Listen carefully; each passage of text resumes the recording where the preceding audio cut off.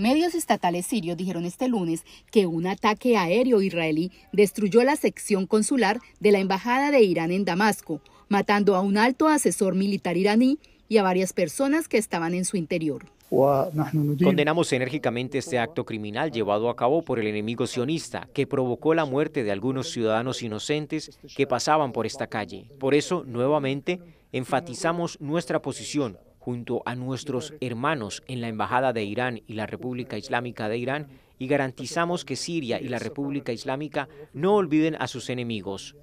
El ataque al edificio del consulado iraní podría marcar una escalada en los continuos ataques del ejército israelí contra oficiales militares y aliados iraníes en Siria, que se han intensificado desde el inicio de su guerra con Hamas en Gaza el 7 de octubre. Por lo pronto, el ejército israelí dijo que no tenía comentarios sobre los reportes de prensa en Siria. La Casa Blanca prefirió abstenerse de comentar sobre este ataque. La vocera dijo que están buscando más información sobre lo ocurrido.